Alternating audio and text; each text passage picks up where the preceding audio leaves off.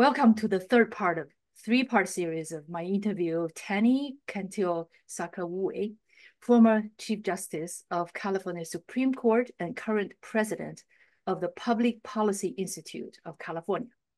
In today's part three, we will talk about election reform, federalism, and democracy. Earlier in part one, we talked about Tani's journey, lessons learned, and insights. Afterwards, in part two, Tani answered questions about California's economy and the future.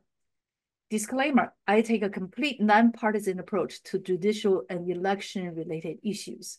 All my questions here are issue-based, not through the lens of politics or political partisanship, even though I regard myself as a centrist Democrat. Welcome back, uh, Tani. Thank you so much. Now, ranked choice voting it has been advocated by some very intelligent Harvard professors and political consultants. Ranked choice voting is already used in some gubernatorial and mayoral elections. Can it be used in primaries for presidential election? As advocated in the book, The Politics Industry, How Political Innovation Can Break Partisan Gridlock and Save Our Democracy by Katherine Gehl and Michael Porter, Harvard Business School professor. Hi, Joanne. Thank you for inviting me. It's a pleasure to be with you again. I think ranked voting is is has a lot of pros to it. I think the greatest issue with ranked voting is people do not understand it entirely. And there's a whole strategy behind how uh, candidates will position themselves and advertise and campaign around ranked strat ranked voting. And I think that we need to understand that. That has to be something that most voters, all voters understand before they cast their vote and rank their uh, votes in a ranked uh, voting election. But I also think that while you think and talk about expanding it to a gubernatorial or higher level of office, I would, I don't know this, I've not looked at it, but I'm guessing that there are probably certain enabling pieces of legislation that have to be enacted by our legislature or by different states legislature, even by our Congress to permit it to happen. And what I also worry about ranked voting is I think it can be complicated and it is strategic. And I would hate to see something like ranked voting cause voters to decide not to participate because they don't understand it, because uh, they think that there being uh, there is some campaign and strategy around it. We want to encourage more voters, so we shouldn't make it more complicated for them to vote. And I wouldn't want them manipulated in their vote either. That makes sense. Um, okay, so ranked choice voting is giving each voter more choices. It's like among these candidates, they can be Democrats, Republicans, independents. You rank which one is your top choice. Let's say there are five. Top choice number one, the last choice number five. And if no candidates get 50%, then the next candidate will be calculated on the basis of the ranking by all the voters. So in this way, the effect is that we don't have to be limited to just one party or the other party. So the so all the vitriol, the partisanship of the two party adversarial, uh, it's not adversarial, but two party, this kind of, a, in my opinion, is just collapsing onto itself and not going anywhere for the past 30 plus years uh, is avoided. So we can have a governing, functioning government. We can educate voters about this. And in other states, governors have already been elected based on ranked choice voting. Mayors have already been elected based on ranked choice voting. So, so people there, they could understand it. And I'm sure most of the voters, if they spend a little time and with simplified education, they can understand the system. I really believe this is a very good and fair device. It gives people more choices and the results are not two-party partisanship Okay, avoids the evil of that. So uh, the other question is term limits for U.S. Supreme Court justices. Stanford professor Larry Diamond and other highly respected voices recommend term limit for SCOTUS, which is gaining traction in the US. Some suggested the term limit to be at age 75 or three terms of six years, and the fourth term is up to six years. Stanford professor Larry Diamond in his book, Ill Winds, suggested limiting every SCOTUS's term to 18 years. What do you think? Well, I I have heard of the one and done, one term and done uh, idea of uh, judicial office, and at the same time, I will say I'm open to it. I think that well vetted and discussed, I don't see it necessarily in and of itself that idea as a problem. Other states already have a what we call the constitutional senility rule. We sort of joke about it. So you turn 70 if you're a Supreme Court justice, I think in New York, you're out. Nothing beyond 70 years of age. And I think that's true in Florida as well. And so I think I am I am neither a proponent or an opponent of it, but I have to think that any solution has to be a realistic one in terms of being accomplished. And I believe that if you start talking about a constitutional amendment, if that's, I believe that may be required for purposes of changing the lifetime appointments of the federal judgeship at the United States Supreme Court level, that would be very difficult just politically to get on uh, on people on states to get states to call constitutional amendments to ratify that uh, change. Because if that's the case, if you're looking to to term limit uh, United States Supreme Court justices, then it raises the question of why don't we term limit circuit court judges and district court judges in the federal system because they're also unlimited.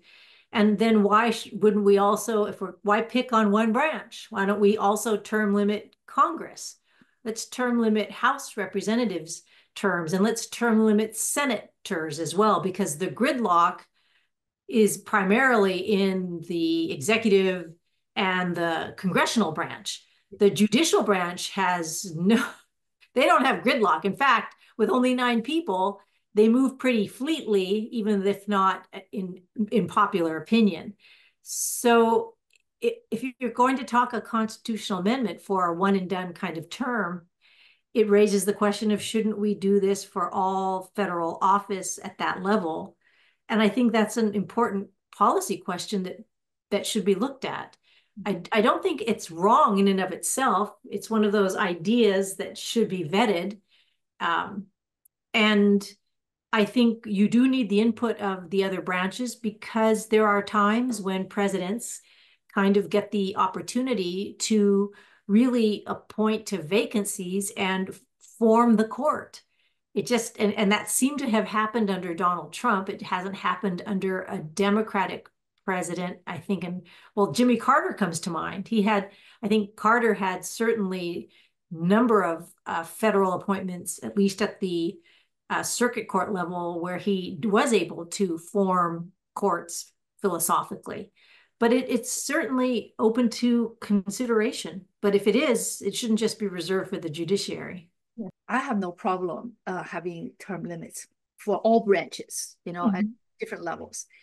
Now, ethic rules for SCOTUSes, in light of the revelation about accepting lavish gifts by U.S. Supreme Court Justice Clarence Thomas for decades, do you think Congress needs to make enforceable ethic rules will hold SCOTUSes responsible, since no one is above the law? If any of the SCOTUSes violate them, who would enforce the rules and uh, what would be the punishment? Yes, so I think it's an interesting legal question. It's an interesting constitutional question. It's a really critical ethics question. I think I join the rest of the world and country in thinking that certainly a, a enforceable ethics uh, uh, ethics rules should be in place for the United States Supreme Court uh, justices. As it is for the United States Supreme Court appellate justices and United States Supreme Court trial court justices. And that there hasn't been an enforceable uh, rules set is troubling, and it would go a long way toward helping ensure public trust and confidence in the justice system, particularly at its highest level, the United States Supreme Court. And in California, for example, we don't have lifetime appointments for Supreme Court justices, but we do have 12 year terms you run every 12 years and you run unopposed. Um, but at the same time, we have a separate independent commission called the Commission on Judicial Performance.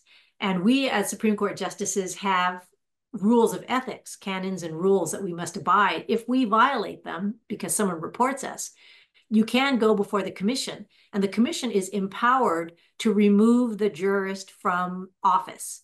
And the commission is made up of mostly civilians, non lawyers, non judges, appointed by, these are public members, appointed by the other two branches of government.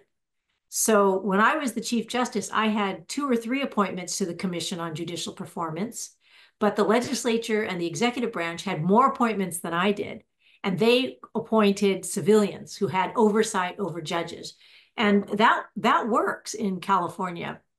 There is no such body that I know of for the United States Supreme Court, but I think it would go a long way to actually have enforceable rules because as you point out, what people remember about the United States Supreme Court is Justice Thomas's big yacht trips and gifts and real estate while he was on the bench hearing cases. And he he he states that that did not influence any of his decisions. But remember, ethics rules are built on two two pieces of two two tenets that there is a conflict or there is the appearance of conflict. So even if I can tell you that there's no conflict for me hearing my my good friend's lawsuit, I'm I should still be recused ethically because even if I could be, there is the appearance that there could be conflict, which gives people doubt in the trust of the law.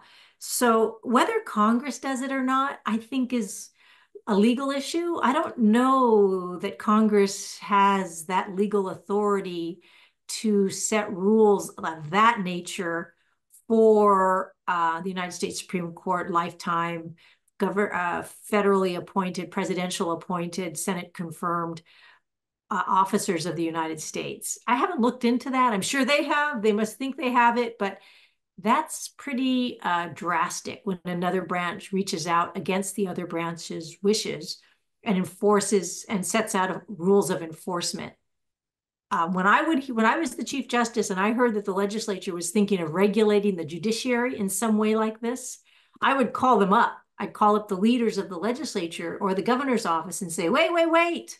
No, don't do this. We will craft our own rule, and then if you don't like it, you can try to override it." So I, I don't know about this uh, Congress stepping in, telling the judges what they can and cannot do. And if they do step in and tell the judges what they can and cannot do at that level, then I hope that Congress also lives up to those same rules. Yes. And if not Congress, you expect either the court itself, hopefully the Chief Justice Roberts will take that initiative and come up with something that is enforceable or the people of the United States, they from all states, they have to come up with a constitutional amendment, which is monumental. Now, next question regarding the principles of federalism, state power, and our republic. This may be a loaded question, but I think we all want to hear from your perspective. The United States was founded on the principle of a republic consisting of independent states where federal laws and state laws are independent and separate. This question is not meant to be political. I know that your political party affiliation is independent, and I respect that.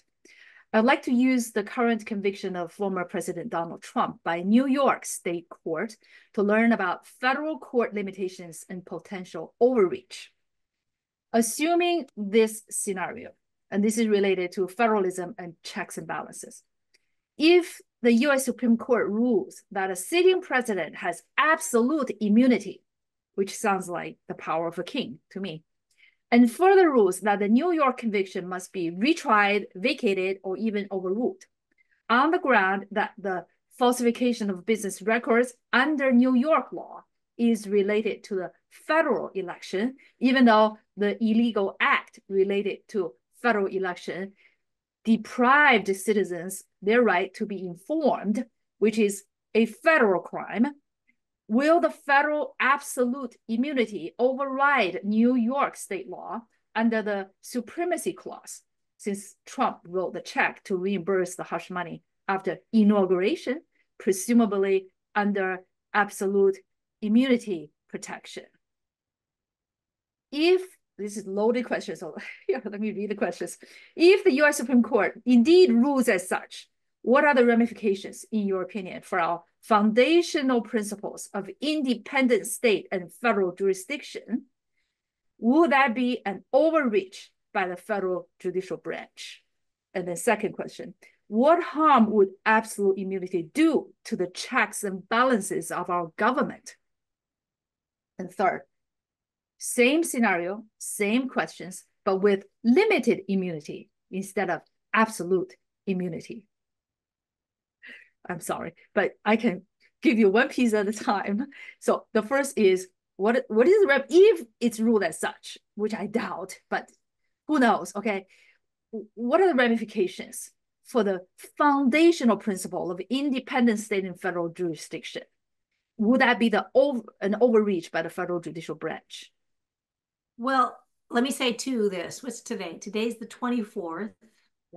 Monday. We, we only have to wait six more days, and the United States Supreme Court is going to answer that question for us, right? Their term ends June 30th, I believe. So they're going to have to, for every case argued this term, they're going to have to rule. So they're going to rule. If um, they do find absolute immunity from all criminal actions by a sitting president. I can't imagine like you, but it will have ramifications and consequences, and they won't be. I, I, I want to say that it, I I don't know how they it would be how they they write it. Those are they're very all nine are very learned scholars and experienced. And in addition, as you know, they all hire top-notch uh, law student interns who help them with the research. And then the lawyers who argued this case on both sides were teams of lawyers with amicus briefs, and every legal stone was unturned. And even a parade of horribles was probably listed for the court when in the briefing. And the ramifications as will be long lasting and long affecting. And I don't think it will be just to independent, the independence of state and federal judiciaries.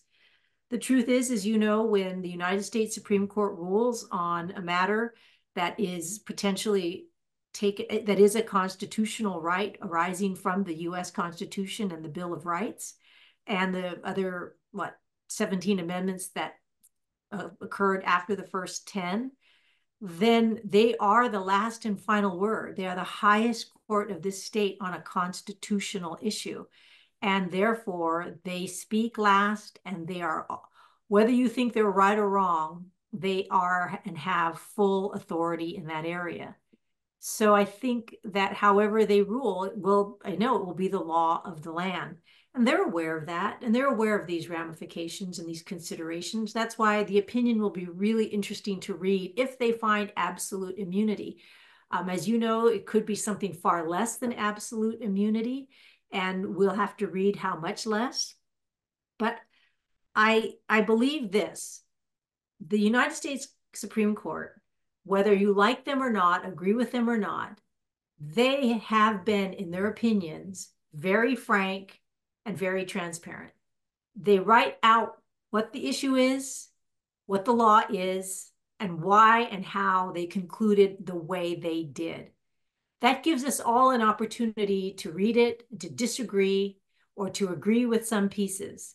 But one thing is certain they do their work, maybe apart from the allegations against Justice Thomas and sitting on cases where his friends had an interest. For the most part, the United States Supreme Court has historically been transparent. They and they they write out their decisions. You can attend the hearings, and they are um, nine people serve as a check and balance on each other. If one of the justices says something that the other disagrees with, you know it. They write it. They tell you why. So I want to say that I think the process, even though how much we disagree with it, how much people seem to have strong opinions about Supreme Court decisions, the process is unlike any process of governance in the United States or elsewhere. Courts are transparent. We write what we think and allow everybody to take a shot at it. And typically we're working off of old laws that we're trying to apply to new and weird everyday contemporary situations. So I don't know that it will do damage to the independence of a, between the state and federal judiciary because there's a lot of interconnection. They are not independent.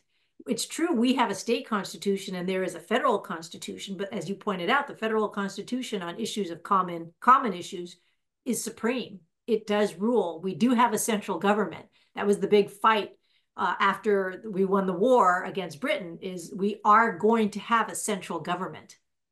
Um, the other piece about um, um, the overreach, you know, I think overreach is in the eye of the beholder. And it's sort of like the word activist judge is in the eye of the beholder. Some will say it's an activist judge because they lost.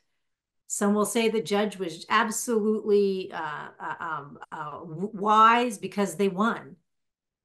I, I can't speak to uh, how a decision that hasn't been made would affect us because I don't know what nine people, nine brilliant people will actually say about the law. I'd like to read it. I know we're all watching it. Um, mm-hmm. it was a state law.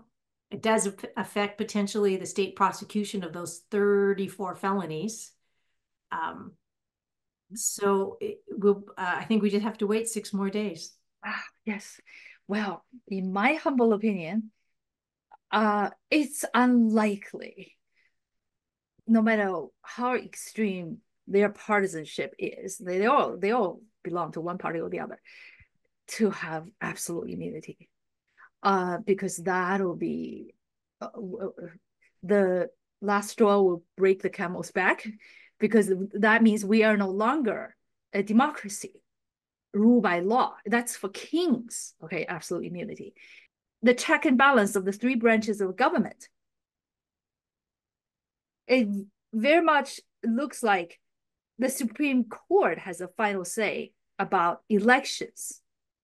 Um, I don't know how long it's going to take us until the January 6th reaches the Supreme Court it happened in Gore versus Bush.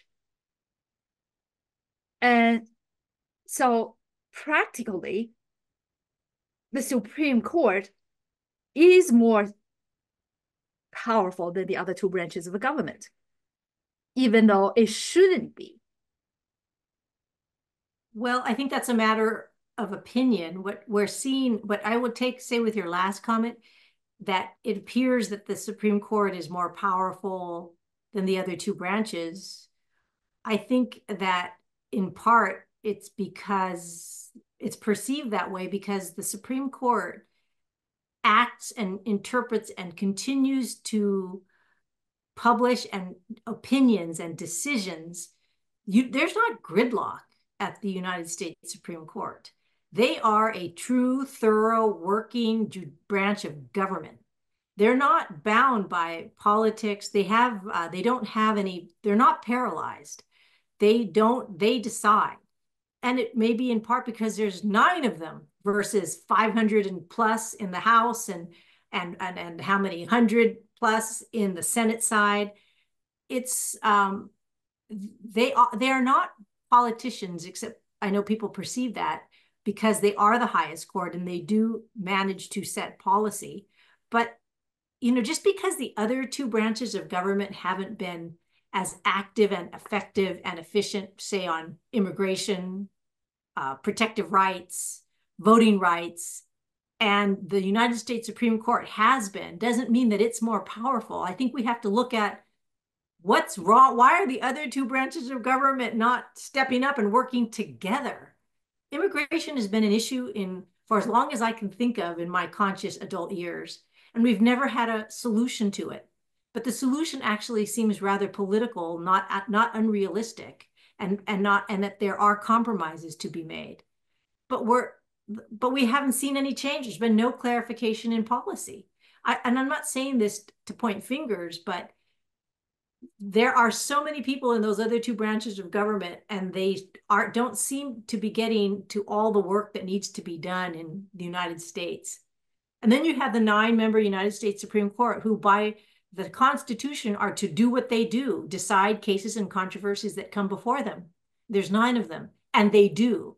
And it just happens to be that this nine has a supermajority of six people who typically are considered conservative. And that is reflected in their in their in their decisions and rulings and opinions. So I don't know that we point the finger at the United States Supreme Court if we just don't look at our entire three branches of government and find out where things aren't working. Yes. You know, the United States Supreme Court government, United States Supreme Court gets those cases because they're controversies and they go up through the system. They go through the uh, district court, the trial court level, then they go up to the circuit court, the appellate court level, and then they come to the United States Supreme Court. And typically, these are the same issue is happening in multiple states.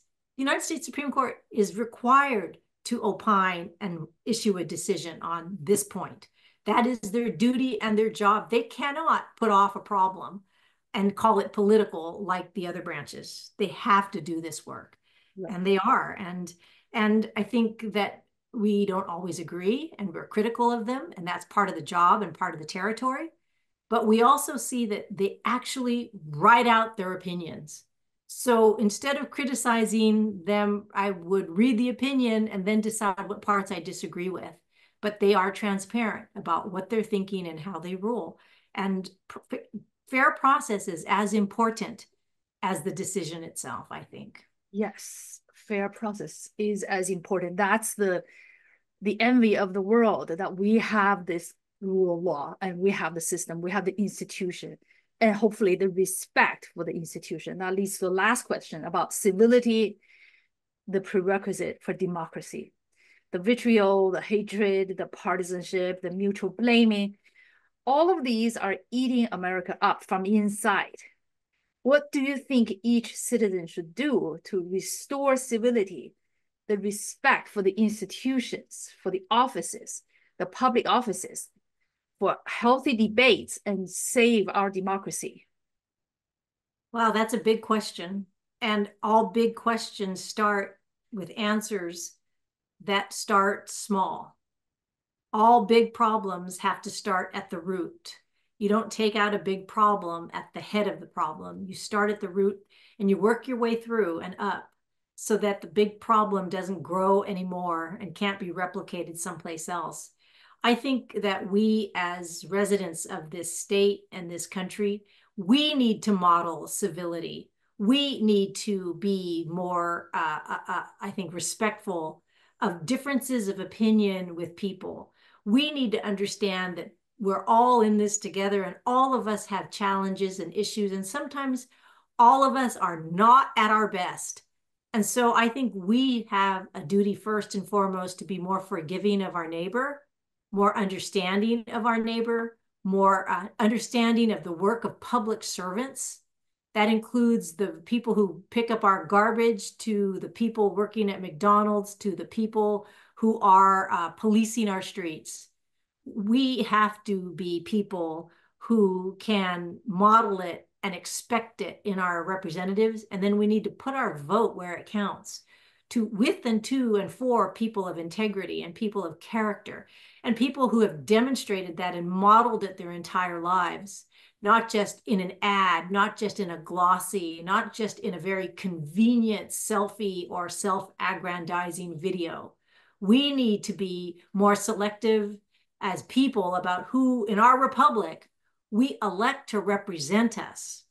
I mean, that's the, the beauty of a, Repu a democratic Repu a republic democracy. We elect people to represent us. If our politicians are slurring each other, they represent us doing that.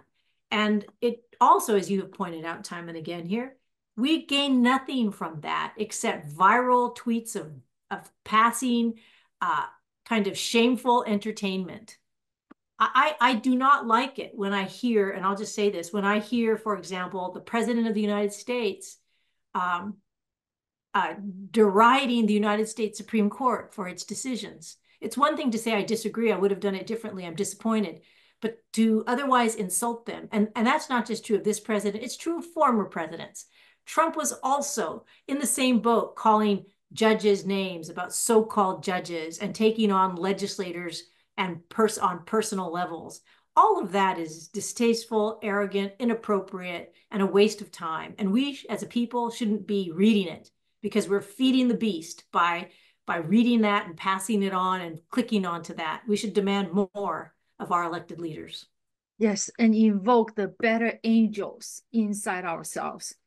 We gosh, this is so wonderful. Thank you so much, Tani, for your invaluable insights, wisdom, and generosity in sharing about your journey and your thoughts about California and our country's future. With my heartfelt gratitude, as I am closing this three-part interview, on behalf of the audience around the world, we wish you the very best. Thank you so much. Thank you, Joanne. Thank you for your insightful, wise questions. I've enjoyed our conversation.